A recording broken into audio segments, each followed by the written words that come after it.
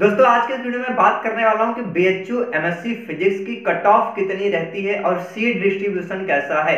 मतलब कि जनरल की कितनी सीट है ओबीसी कितनी सीट है मतलब कैटेगरी वाइज सीट कितनी है।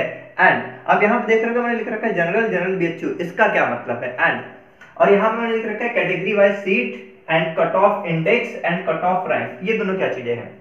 बात करते हैं एक एक करके सारा कुछ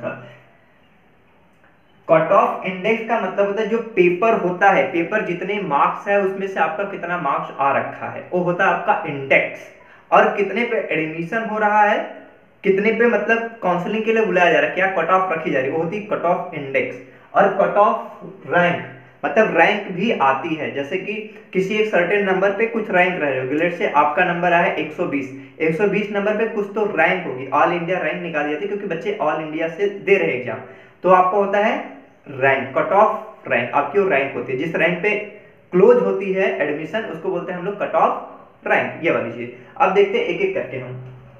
जैसे यदि बीएचयू के बाकी सारी कैटेगरी वाइज हमने लिख रखी है, ये फिजिकली चैलेंज एंड ये फिजिकली चैलेंज बीएचयू के है EWS EWS BHU general BHU general general BHU ये सारा कैटेगरी लिख रखा है।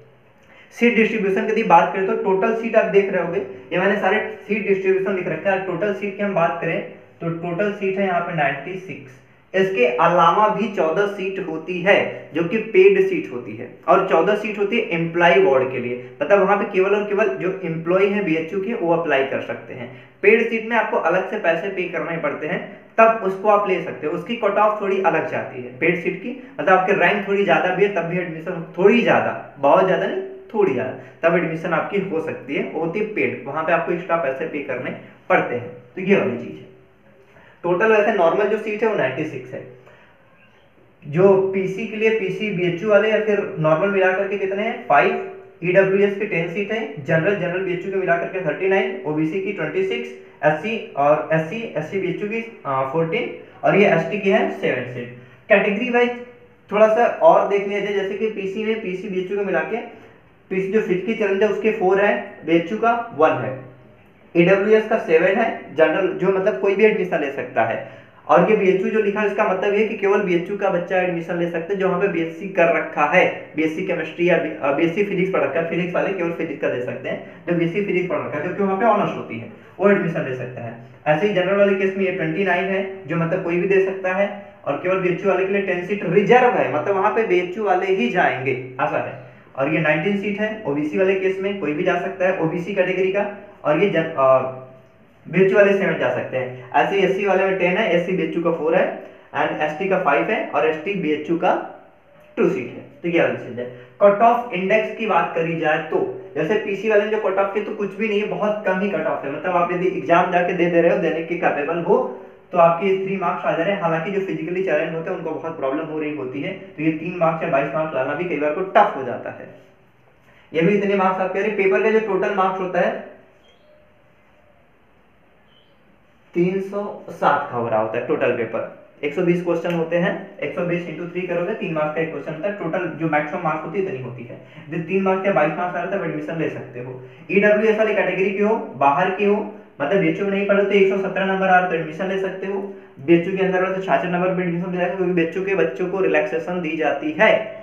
तो ये वाली चीज़ है। और जनरल वाली कैटेगरी में आप 136 नंबर ला रहे हो तो एडमिशन हो जाएगा। बीएचयू के तो भाई अड़सठ नंबर लाओ एडमिशन हो जाएगा। ओबीसी वाली कैटेगरी में हो तो 109 नंबर बाहर वालों के लिए कट ऑफ़ थी। ये 2020 की कट ऑफ़ मैं बता रहा हूँ। इसी के अप्रॉक्स में हर एक ईयर में जाती है। थोड़ा बहुत ऊपर, थोड़ा बहुत नीचे, हर एक साल में ऐसा ही होता है। ऐसा नहीं कि हर एक साल का ऐसा होता है थोड़ा सा अप डाउन जाता है वो पेपर की भी डिफिकल्टी लेवल पे डिपेंड करता है। अप्रोक्सीमेटली हर बार ऐसा ही कट ऑफ़ रहती है। और ये 61 है बीएचयू ओबीसी के लिए। देख रहे हो बीएचयू ओबीसी या फिर बीएचयू जनरल या फिर बीएचयू ईडब्ल्यूएस इनकी कट ऑफ़ नीचे रह रही है।